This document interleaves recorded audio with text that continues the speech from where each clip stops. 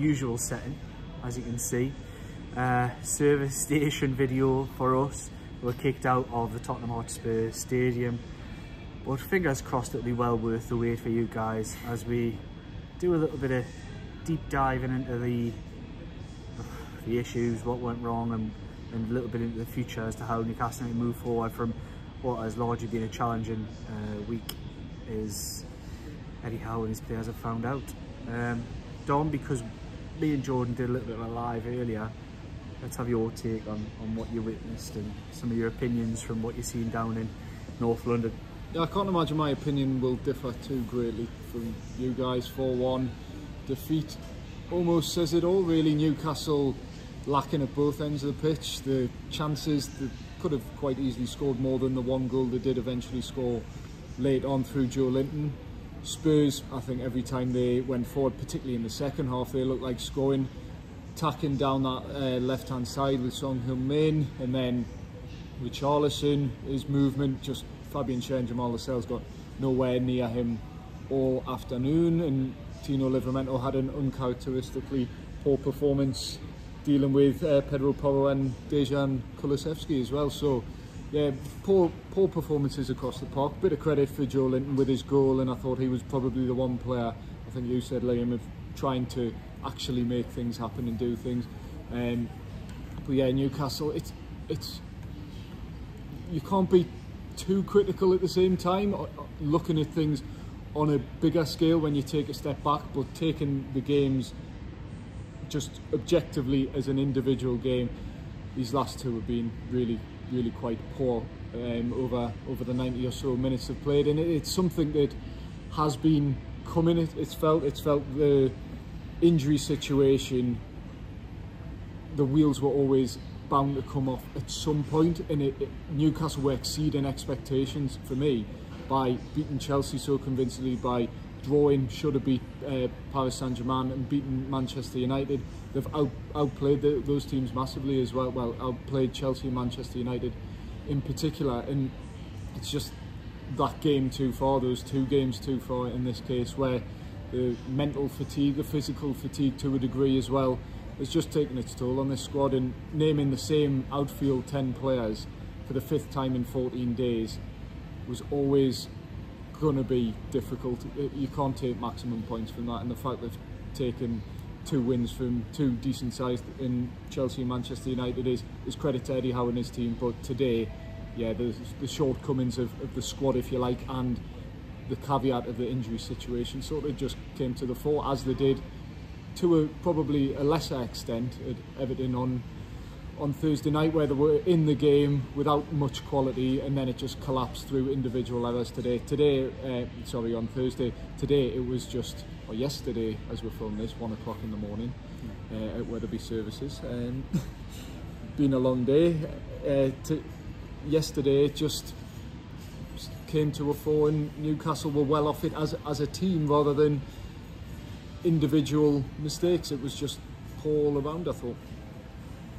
Yeah, I think it's kind of what we've said on recent videos. I would say that it's always felt. I think I think I might have said it a couple of weeks ago.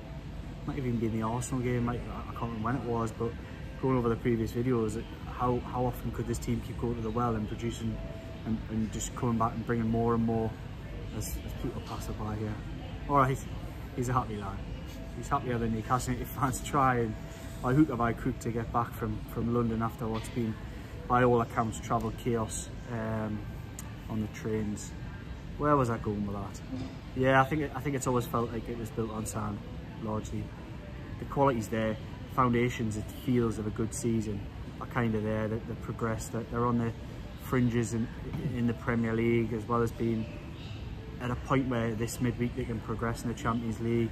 They've um, gone on a really tough run and got themselves to the quarterfinals of the Carabao Cup, but it just feels it feels like how often can they keep calling upon the same players? Mm. I want to ask you, Jordan, do you think do you think some of that falls on Eddie Howe?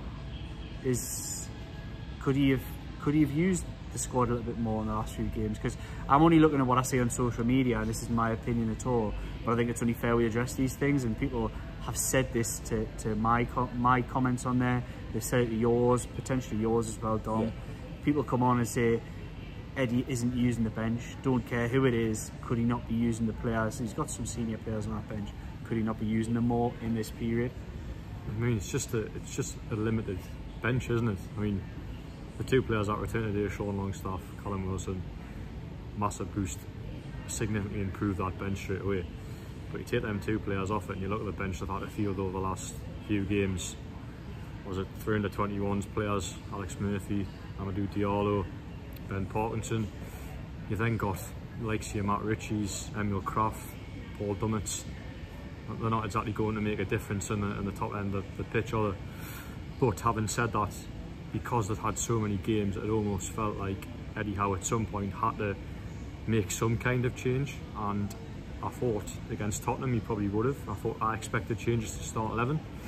Obviously couldn't make many, but I did expect a few players to, to come in and just freshen things up from uh, from Wednesday, uh, from Thursday when they did ultimately look very leggy.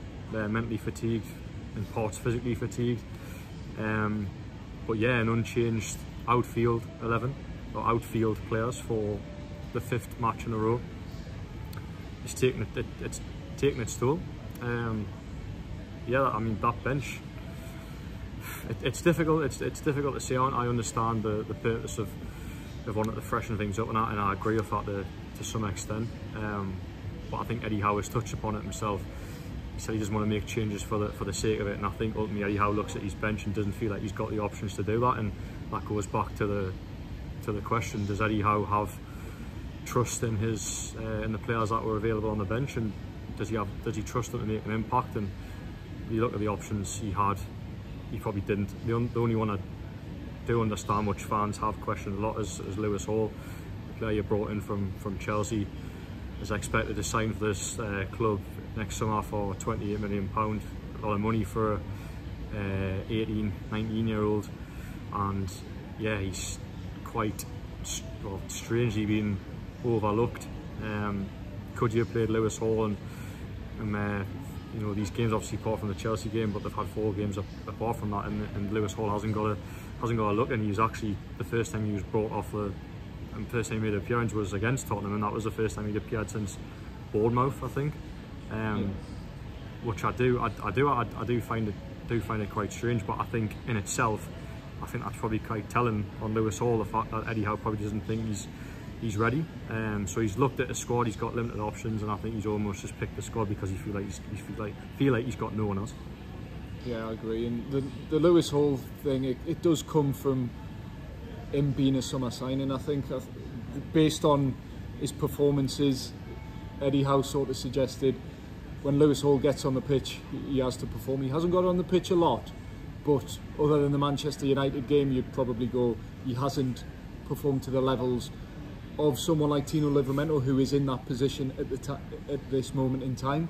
So if you're looking who's Newcastle's strongest fit left back, it's not Lewis Hall, it's Tino Livramento, and then Kieran Trippier's okay, he's not available for the next Premier League game, but he's the avail available right back who will play week in week out because he is he's Kieran Trippier. He's he's got that quality. But yeah, I think the we've seen the injury situation take its toll because it is it is particularly bad, but I feel like the way Newcastle play doesn't lend itself particularly well to having a lack of options, a lack of players on the bench because it is intensity, it is running, it is high energy, and to ask 10 players to do the same thing uh, five times in two weeks is is an awful lot, I think. And we've spoke in the car, Eddie Howe as a manager, not to criticise him too much because what he's achieved at Newcastle has been incredible. But what he's achieved, the foundations of that have been through hard work, um, outworking opponents, out battling opponents, not necessarily outwitting opponents and outthinking. And it, it's just Newcastle have such a clear style and almost a strict style to a degree that the sort the can't really change out of that. And I think the injury situation is, is sort of um, compiled that and made made it the um, play style exposed slightly because they haven't had the players to continually produce those levels in the over a, a consistent period basically the last two games anyway I think I think in these situations, I think it's only uh, fair that you that everybody almost looks at it with a hypercritical eye. I think it's it's very obvious as to why Newcastle find themselves in the situation that they are. I think it's the unprecedented level of injuries um, in key positions to key players. Um, that's when the drop-off has come. Uh, after a really tough run of games, Manchester United, Chelsea, uh, PSG, it's almost been after the Lord Mayor show when they've got through what looked to be the most challenging to then drop off at Everton and then I think Spurs was always going to be tough because they're an excellent side this season, um, transformed in many ways. But I think you've got to look at it with a hypercritical eye and I think, so I've looked at a lot of the benches over the last few weeks and it sort of brings into question the balance of the squad and I think there were risks taken in the summer which look it's one hindsight's a wonderful thing wouldn't we? All wish we had hindsight in every uh, way of life to, to change decision. Look back and you know have that foresight to have not made the wrong decisions. I'm not saying they did make wrong decisions but the balance of the squad is obvious. It was too heavily weighted towards defenders. Um, not enough options in the attacking third. Of course it would be the attacking third where you got lots of injuries and le it's left them with major problems whereby for many games this season they've only had three available forward players unless you go down to some kids who've ended up getting minutes who are nowhere near ready. We talk about Lewis Hall potentially, in my opinion, not really looking ready to be a, a Premier League starter. I think there's people who've got minutes from the bench this season under Eddie Howe that are even a million miles away from where Lewis Hall finds himself. And that kind of shows how stretched they've been in those forward areas. Look, I think they'll look to address that in the windows coming moving forward. Um, but the here and now is it's a defining month. It's a defining month um, for the season largely. It is possible that if the run continues, you could find yourself dropping off massively in the league uh, and out of all three cup competitions because the games aren't easy. But let's not be too negative about it. That, like I said, although there are, it's it's a good foundation of where they are in the season. They're in the mix in the Premier League. They're not a million miles away from where they want to be. They're into a quarter, quarter final of a cup and potentially into a last 16. Or it's in their own hands to continue in Europe um, if they go and beat AC Milan on Wednesday night. Now, I've said we've written them off many times before, well, at times in the past, even privately, when you sort of turn up to places and think, oh, I'm not sure they'll get something here today, and they've went and done it. So I wouldn't bet against this team on any given day going and getting a result, but they find it tough at the minute. Um, against some tough teams, I mean, realistically, in the last sort of four days, they've probably played Tottenham team who were who have been one of the best teams who got players back today, uh, sorry, yesterday, whenever you watch this, got players back this weekend and have probably been one of the standout teams of the, of the division so far. And then they played Everton, who are undoubtedly one of the most informed teams in the Premier League, despite their lowly position. Um, I think I read somewhere, correct me if I'm wrong in the comments, they've won 9 of the last 13 games, which is incredible. Um, if that's true, I might have just read that from somewhere. well, another one thing that was true is if they hadn't had that 10 points deduction, they would only be 3 points off yeah, Newcastle. So that kind of makes sense, and doesn't it, the kind of form that they're in after a really sticky start of the season. Um, so it, it was never going to be an easy place to go, and 10 minutes of madness probably cost them. So look, I think there's still a lot to be positive about. I think it's okay to be upset by what was witnessed. I think particularly in that second half, we touched upon it in the live. For me, 0 to 45. Tottenham were very good, they were at home. They created a lot of chances, but Newcastle had the odd chance, and a clinical Newcastle probably takes at least one of those, keeps them in the game. Uh, second half, I thought there was a big drop off for the second half. I don't think Tottenham had to perform very well to canter to a victory in that second half. I think Newcastle United defensively allowed them to do that. And that's probably the most disappointing part. Newcastle have gone from one of the most resolute uh, back fours and team units, hard to beat, difficult against uh, home or away to score goals against, to a team who have shipped a lot of goals recently. And unfortunately, because of the lack of options, the goals dried up a little bit at the other end too. Um, but yeah, I'm not really sure where we go. How do we throw this forward, lads? Because yeah. we've got to be thinking about. I mean, you guys are going to be at the press conference on Tuesday. Um, how much how much of a precedence does AC Milan take on Wednesday and how much. It, it, I'll be honest, like I've said this. Should I, should I share this? Yeah.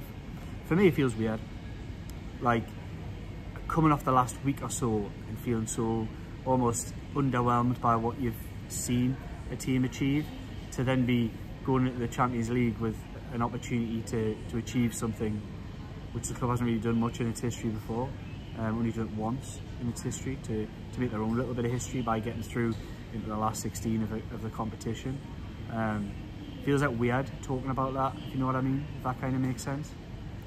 Yeah, yeah, I, I, I get what you, I get what you mean because we've been sort of I feel a million uh, miles away yeah, from that, they've- really, they've- after watching them been Tottenham. quite underwhelming in the last two Premier League games, and then to go into a Champions League game, obviously the, the biggest competition in Europe, it does feel quite strange. But what an opportunity it is! I mean, to qualify potentially for the last 16 in the Champions League. Can you imagine if we're sitting here in a week's time and they manage to do that? It would. It, it's a hell of an achievement in, in itself, and I think in many ways, if if you do, if you're able to do that, kind of provide a little boost to players' mentality at the moment. Not question the mentality, but we're talking about mental fatigueness. Could something, could a result like that, and could a last 16 place almost inspire them a, a, a little bit? I think I think there's a lot riding on uh, Wednesday because look, they've never, obviously, in the last time in the Champions League, they qualified for the second group stage, but they've never qualified for the for the knockout stages of the, of the, of the Champions League, and um, I think they do that. I think they could provide a, a, a boost behind the behind the scenes as the as the Champions League games have done. It's a different experience, isn't it? The, the Champions League games. I think the Champions League and Premier League are, are so different.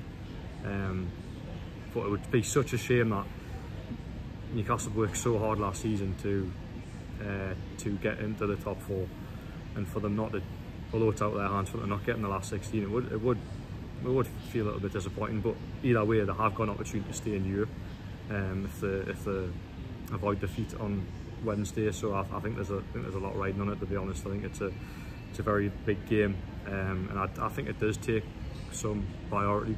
Um, there's a conversation had down the line of if you had to pick games to win between sort of the Carabao Cup, uh, Fulham on Saturday and the, and the Champions League. I mean, that would be a very very difficult pick for me to, to do that on the on the spot. Um, but they've proved that they've had a blip at the moment, but they've proved they can find a way to compete on all fronts. It's quite it's quite incredible to think that you know we're, we're talking about these two results and disappointing performances, but they've actually they're still in every competition this season despite all the injury problems they've had, and I, I do find that they're quite incredible. So Yeah, there's something to like about that, yeah. Yeah. I wouldn't uh, I wouldn't wouldn't write them off. I think being at home for the next two games is massive. Um, the away days, as I've mentioned, the away day blues. There's something not clicking on the road, but St James's Park is a is a different beast. And I think I said it to you guys. I think if you had to play Tottenham and Everton at home, and the back-to-back games over this weekend we've just had, I think would Newcastle would have six points, um, because that home crowd carries you through, and it, it does say it, it, it's a cliche, but it taught me like a 12 man. Um, so I think after some struggles on the road, back-to-back home games will do uh, a lot, a lot of good for this for this team, and uh, hopefully you know and kick on in the right direction. Yeah, St James's Park is definitely a big factor, and I think looking at the home and away tables, the disparity is, is telling. Newcastle have one of the best home records, I think the third best home record in the division, but the 16th best, or what is it, fifth or sixth worst um, away record. So yeah, the, the disparity is, is there for all to see, and it's probably worth not getting carried away because before the Everton game, Newcastle were the informed team in the Premier League over the 10 games prior to that. So it's not necessarily the defeats, it's more the nature of the defeats, the heavy defeats and, and conceding the goals. But Newcastle have been so good at St James's Park and they will have players back. Callum Wilson and Sean Longstaff will be that bit closer. Eddie Howe said they're not quite ready to, to start or wouldn't have been at Spurs, but potentially Wednesday night could come for them and that just that bit of rotation, that bit of freshness could, could be a big boost um, going into that game where basically they must get a result. They effectively need a win if they want to get through to the, or they do need a win if they want to get through to the last 16. But a result would guarantee them staying in Europe via via the Europa League after after Christmas as well. So plenty to play for, and, and Jordan raised a good point where you've got your next three games in three different cup competitions in the Carabao Cup, the Premier League, and, and the Champions League, and it's where do your priorities lie? Are you asking me that? Right, I'm just asking everyone. So It's a difficult question to answer was- I at 20 just- past one in the I morning. know I was, I was just I- I'm ready for Try me- not to fall asleep. I'm ready for my bed, mate. um, so I would reluctantly probably take three defeats uh, on the bounce in the Premier League, and I would take progress in the Carabao Cup and a draw against AC Milan. But that wouldn't make for a great run of fixtures if you draw AC Milan and get beat off Fulham. Um, And beat Chelsea and get drawn in Liverpool in the semi-final. Back to Merseyside, yeah. and then play Sunderland. Yeah. Stop it, Tom. It's too late for all that. It's too late for all the hypotheticals. Geordie Journos in the bin. Right, it is. Right, I, I won't be bed. So I hope you've enjoyed this. Uh, We're still not even home, know. No, we're still got now. As I'm sure many, Many will be. Newcastle fans on. First right world now. problems are actually closer to home than most. Um, yeah. Right. T's and C's time. Anybody got anything to add? You definitely don't. I don't. I think you can probably tell I'm half asleep. Right. You know what to do. Click the bell. Geordie Journos content straight to your device. Like, comment, share, subscribe for all this kind of stuff. But probably, well, hopefully, at better locations in the future. Cheers, guys. Thanks for watching.